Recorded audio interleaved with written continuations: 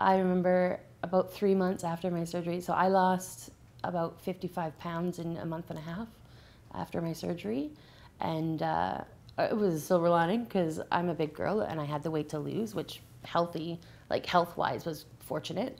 But also, I felt real good, you know, being a bit slimmer and might be passing out, but I'm slim.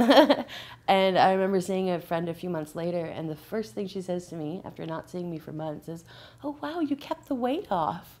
It's like, not even how are you? Or, like, that's the first thing you're going to say to me? You think that's appropriate somehow? Yeah, I also had somebody recently say to me, like, Well, are you really still a cancer patient after three and a half years?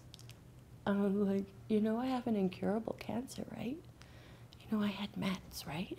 Yes, I'm still a cancer patient. like, people don't get it. And so it's this, like, you got to find the people that do. And YACC has been amazing for that.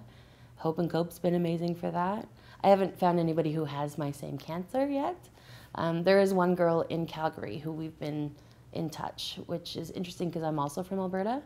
Um, and we've been in touch a little bit. She's 38 when she was diagnosed, so we were able to connect a little bit. And but I've never met anyone in person yet, and that would be amazing.